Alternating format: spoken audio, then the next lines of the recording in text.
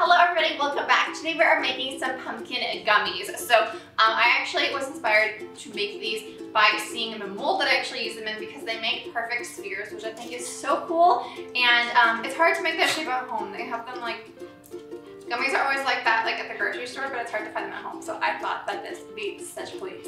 So let's get started. Okay, so first want to get some apple cider, and this is non-alcoholic apple cider, and pour it into a microwave safe bowl. Sprinkle some unflavored powdered gelatin on top and whisk it to combine. And I'll have all the ingredients and quantities listed down below, so don't worry about that, I got you. then microwave the mixture for 30 second intervals or until the gelatin has fully melted. Then add half a can of condensed milk and mix well.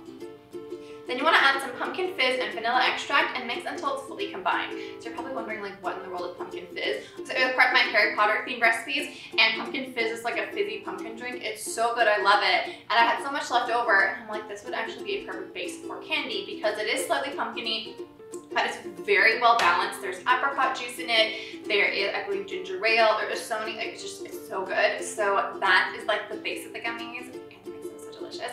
So um, I'll have that recipe linked in the cards for you um, if you want to go check it out. And then once everything is added, add a couple drops of orange food coloring just to kind of make it a little bit more vibrant orange. Then pour the gummies into a sphere mold. So I got this off Amazon, I'll link it down below. They are like smaller, kind of like this size.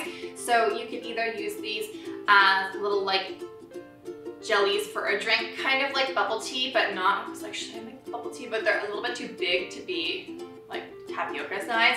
Um, but basically what you do is you fill the tray all the way full with the jelly mixture and then carefully, I was like terrified, but this actually does work. Um, carefully put the second one on top, second layer, and then press down and it will fill all the spheres. This quantity will give you like one and three quarters worth of trays, if you know what I mean. Um, so if you'd like to make more, just double the recipe and then you'll be fine.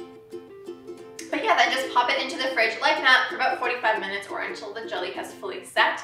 And then just carefully lift the top layer off and you will have your adorable little spherical pumpkin candy things. So I also thought that it would be cute to roll them in superfine sugar. Superfine sugar is um, smaller little granules than regular sugar and so you can just find it at the grocery store. It's like in the same section that the sugar is.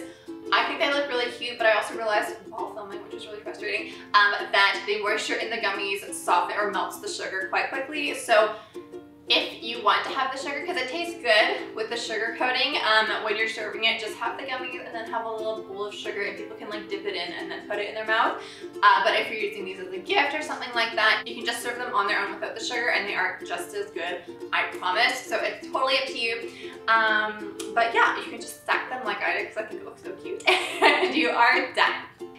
Uh, thank you so much for watching. I hope that you like this recipe. If you haven't yet, make sure to stay tuned tomorrow because um, I'm uploading a video every single day this week and every week in October and they're all Halloween themed recipes. This week is like cutesy Halloweeny kind of recipes. So if you missed out, um, make sure to check on my channel because there are probably at this point, there's going to be around 13 recipes already that are brand new for this month. So um, definitely take a look and hit the subscribe button so that you don't miss out on the following week and a half of recipes. So yeah, I love you guys so much and I will see you tomorrow for an older recipe.